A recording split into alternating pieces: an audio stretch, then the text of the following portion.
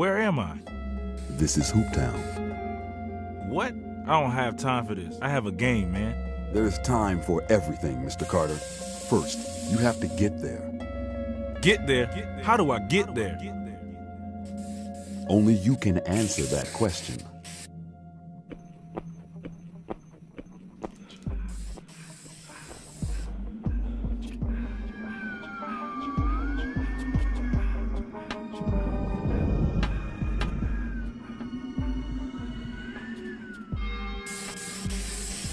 Future is decided now. What are you talking about, man? Time is a circle, and you are at the center. Right now, your actions will decide whether all this is real or just another dream lost in the game. Ladies and gentlemen, ladies and gentlemen, I introduce to you Mr. Vince Carter. Time is now. His time is now.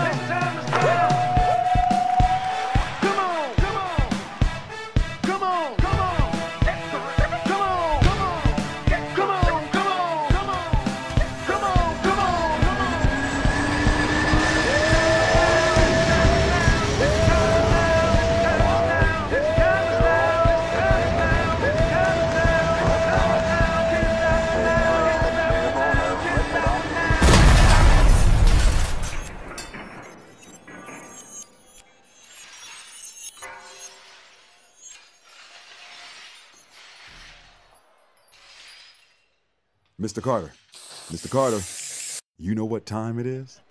Yeah, it's my time. And the time is now.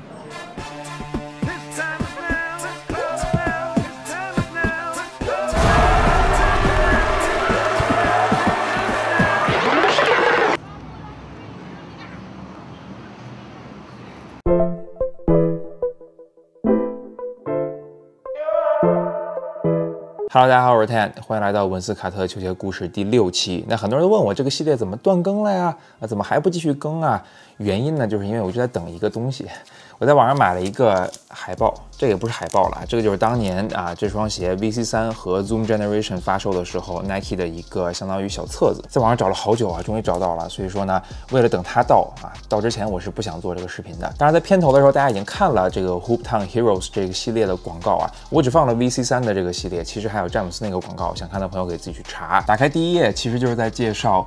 My time is now 这个广告啊，就是卡特这一部分的广告的一些内容。第二页的话，卡特广告继续，然后这边进入到詹姆斯的广告，并没有太多别的介绍啊，但是我觉得其实挺酷的，就有这么一个东西物件儿还能买到今天呢，真的超级开心，所以跟大家分享。首先，二零零三到二零零四赛季，我相信对于很多年轻的朋友，也不算年轻了，相对我来说年轻一点的朋友来说，应该还是印象很深刻的。我们看到詹姆斯、韦德、安东尼啊、波什，全部都是这一年的新秀。但是对于我这么一个卡密来说呢，我更关心的是卡特有没有能够走出伤病的困扰，因为我们都知道，零一零二赛季、零二零三赛季，卡特全部都是大伤。同时，这个赛季猛龙队迎来了他们的全新颜色的队服，就是我身上穿的这件红色的队服。而赛季揭幕战呢，卡特就是穿着红色这个球衣，然后全新的 Shocks VC 三拿了三十九分，我印象特别深啊，当时所有人都是哇。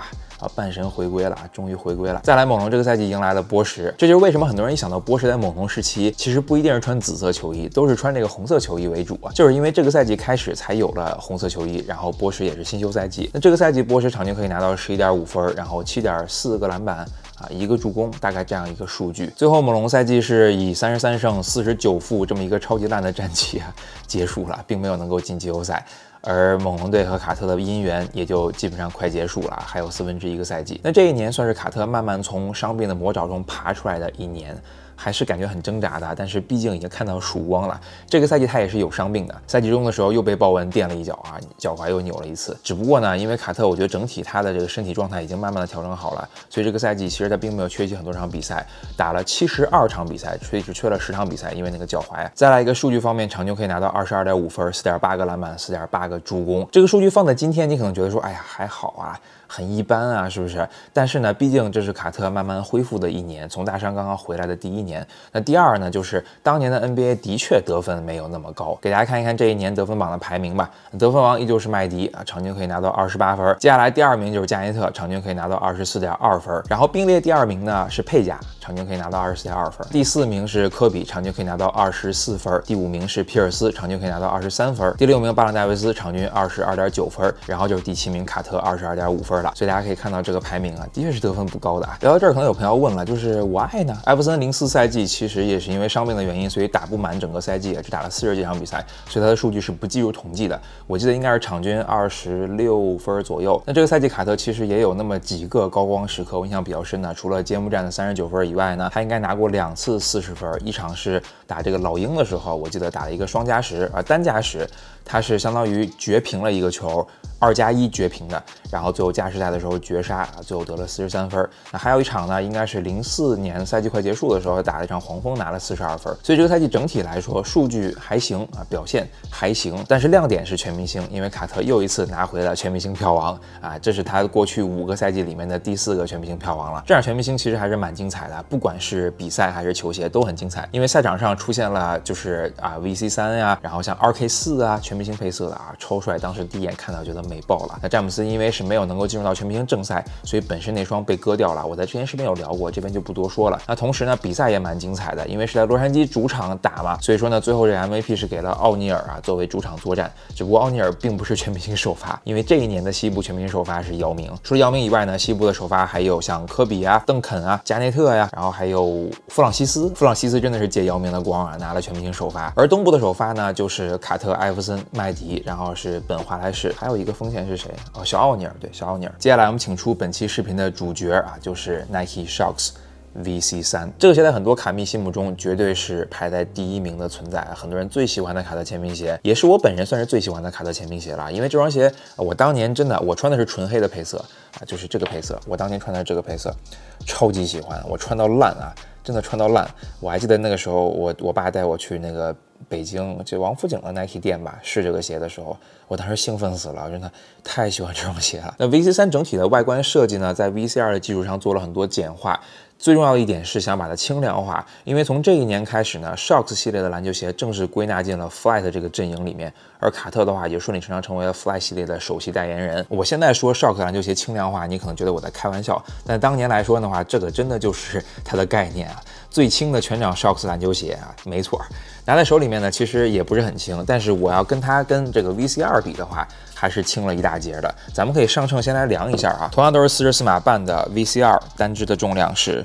六百一十克，这个重量是可以。而 VC 三的话呢，就是五百五十克，也就是说减了六十克的重量。一双全掌 Shox 的篮球鞋，五百五十克单只重量，四十四码半啊，其实真的还可以了。放在今天也不算是有多沉啊。整个鞋面的设计是非常简洁的，鞋帮相对于二代来说往上高了一点点，但是呢，它取消了猴爪的设定啊，这个是减轻了很多重量的。它内衬特别舒服啊，VC 三的内衬是很舒服的，很柔软，而且这个质地看起来是很高档的那种感觉。再来一个鞋面，主要就是以一张皮为主，然后为了支撑整双鞋的结构是要用漆皮的，所以说在前面的鞋头部分，大家可以看到这个挡泥板，后面的话在鞋帮处的支撑部分全部拼接的用的是漆皮，鞋舌的话也是一样的啊，它是拼接面的漆皮，下面是普通的皮革。整双鞋采用极简的设计，基本上只能看见一个小小的钩子，在鞋带的侧面这个鞋带孔啊，大家可以看到这个是那个年代非常高端的篮球鞋会用到的鞋带孔设计方式，包括大家如果有印象的话，勒布朗二上面用的也是这一种鞋带编排方式，前面。依旧可以看到五个点儿，Alpha Project，然后往上看的话，可以看到 VC logo，当然还有 Flight logo。后跟依旧可以看到有 Flight logo，在卡特的 PE 版本上面呢，会有一个十五的刺绣。啊，在试售的版本呢是没有的。除此之外，整个中底也是做了一套减重啊，依旧还是全掌 shocks，但是柱的这个数量是变少了的。外侧的话看起来好像没什么太大的变化，但是内侧的话呢，大家可以看到它是相当于做了一个橡胶上翻，它是贴着这一块啊 PU 材质，这个是柱的一部分，这是一个大柱，这个也是增加这双鞋的抓地面积和整个稳定性的一个很重要的设计点。再来一个，在这个配色上看的不明显，咱们可以拿这个黑色的来看，就是它侧面的这个 P backs 的。板啊，这个支撑板简化了很多，而且呢，它变成了一块一块的，如果大家有印象的话，VC 二上面它的这个 P B X 板是非常大的，而且延伸到鞋帮处了，基本上啊非常非常高的。而 VC 三的话呢，在这方面做了一些减法，而且我觉得这个承托盘做的特别帅，尤其是在黑色这上面显示的。我这个已经发黄了，但是就依旧挡不住它的帅啊。如果说这些都无法打动你的话，那我觉得接下来这个点绝对是足够帅的，就是它的外底设计。这是一个恐龙爪子的形状，就这个外底造型，当年。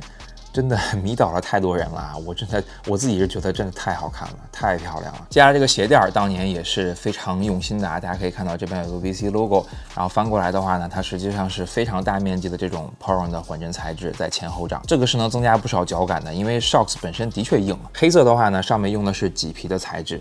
哦，这个质感也是特别好。其实 VC 三上面唯一一个我觉得比较不好的缺点，就是穿久了之后的鞋面会比较松，因为这双鞋整体并没有太多鞋面的支撑结构设计，全部都是靠皮。而皮的话呢，尤其是这么好的皮，你穿久了之后，它其实会变得呃更软。越穿越软，越穿越软了之后，整个鞋面的支撑性就会变差一点点。很多都说 VC 三牛脚啊啊，我是觉得没有什么牛脚的地方，而且卡特穿 VC 三也没有扭过。他零四年唯一扭的那一次，还是被豹纹垫脚了那一次，穿的还是 VC 二。但是这个也很难说明 VC 二就容易牛脚，因为呃，如果豹纹垫脚。谁能躲得过呢？接下来跟大家展示一下我手里有的一些 VC 三的实收配色，跟大家展示过的这个猛龙队的主场配色，猛龙队的客场黑色啊，这个太帅了。接下来白紫的多伦多限定配色，那这个配色是卡特在主场经常会穿的一个配色了。这个外观乍看之下好像没什么，就是一个普通的白紫配色，但是如果你仔细看的话，在漆皮的部分，它其实上是有这种龙鳞的。感觉的后跟儿这个版本它是有十五号的刺绣的。接下来鞋舌里面会有一个只有卡特 PE 才有的刺绣，就是 The Rebirth 重生啊，代表卡特的重生。同时卡特本人穿的 PE 里面还会有一个刺绣，就是 ABW。那这个到现在也没人知道到底是啥意思。我跟卡特王经常会聊这个话题啊，很早以前我们就聊过，然后没人知道是什么意思。然后前两天的时候在做这个视频之前，我还问他一遍，我说你知道是什么意思了吗？他说啊，不知道，但是之前有人说好像是 a better world，就是一个更好的世界啊，呃，这么大爱吗？我不知道啊。接下来这个配色呢，要拿盒子跟大家一起展示啊，这个是全明星配色啊，当年的话呢是跟 RK 四一起出的这个全明星的套装盒，这个盒子本身就是一个 LA 全明星的 logo，然后颜色的话也都是跟全明星啊一致的，打开鞋盒盖里面也是有图案的。然后呢，咱们先把鞋拿出来，里面其实还有一个防尘袋儿，这个防尘袋儿也是相当帅啊。然后侧面的话有一个小小的 Nike 这么一个 lock，其实做的真的很精致。那个时候的 Nike 限量做的好精致。这个全明星的 VC 三也被很多人称为是经典配色，因为真的是很好看。而且这双鞋的话呢，跟紫色那个 PE 是一样的，侧面的话也是有这种龙鳞的设计，然后配合一个这种红色的钩子。鞋舌上可以看到 LA 全明星的刺绣，然后在鞋舌里面依旧还是有。The rebirth 重生的刺绣，唯一可惜的就是试售的版本是没有十五的刺绣，但是 P E 的版本还有很多 sample 版本都是有十五刺绣的。这个配色还有一个特别漂亮的地方，就是红蓝相间的 Shocks 柱和 P Bax 支撑盘相间做出来这么一个颜色，尤其是蓝色这一部分的 P Bax 版，其实是那种晶莹剔透的感觉。再给大家看一眼鞋底，这个鞋底。看一次摔一次。接下来最后一个试售的配色，这个配色是一个特殊的版本，是当年这个 Nike 做塔斯克基飞行员他们一个套装啊啊里面出的这双 VC 三。这个版本跟其他的配色其实都不太一样，就是它用了一个全麂皮的设定，没有漆皮，所以包括像挡泥板啊后面这一部分啊，全部都是麂皮，而且这个麂皮的质感也是绝了啊！包括鞋舌上的小细节呀，后跟的小细节啊，这个是不是当年这个飞行员他们衣服上穿的东西啊？这个我也不了解。VC 三本身还有另外一个。呃，试售的白银配色，白银蓝配色，那个是我没有的。我自己觉得那个配色也的确一般般，相对于这些配色来说，还是差点意思的。零三零赛季，卡特不止穿了 VC 三，他也穿了一些 VC 二，穿了一些比较不错的 PE 配色啊。包括之后在美国队的时候，他也穿了一些 VC 二和 VC 三的 PE 配色。我自己是没有实力，也没有办法拿到这些鞋啊。如果有机会以后拿到的话，跟大家展示。不然的话呢，如果大家有关注我，像卡特王啊，其实他都有分享过这些鞋的，那些配色做的真的是非常漂亮。还还有像是卡特在慈善全明星的时候穿的那个黑紫的配色哦，那个也是神级配色啊。下期视频我跟大家分享卡特在猛龙队的最后四分之一个赛季，以及来到篮网的全新的开始，真正的 rebirth 重生。那再次感谢各位，如果你看到最后，千万不要忘了帮我扣一。也希望大家能喜欢今天的内容。我是 Tan，咱们下期见，拜拜。